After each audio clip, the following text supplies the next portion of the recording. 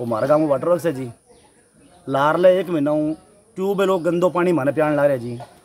S D O JE plus जिको waterman रखड़ो है वे सब पानी बारी मोल बेचन ला रहे जी। गाँव कैंसर हूँ, जूझन ला रहे है। बन कोई मतलब कौन बात हो जी। बांग बुलू जनता मरे जी है, बे पीसा लेके बारी जमा कर लिया जी। हर बारी बेचा ला रहे हैं, कोई बंदो कौन संभाला जी? बहुत बुरो हाल काम को।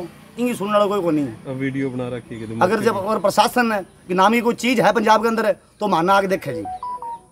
मैं अगर मरने तैयार हाँ अरे गंदगी पिया पिया के माना खत्म कर दिया। पिछले एक महीनों मानने मेरे को पानी को मिलो जी। टंकी पर चढ़ने को की कर टंकी कान चढ़ में भी मर सा कैंसर नहीं मर जावा आपकी मौत तो मरांगा कुत्ता की मौत तो कौन मरा जी?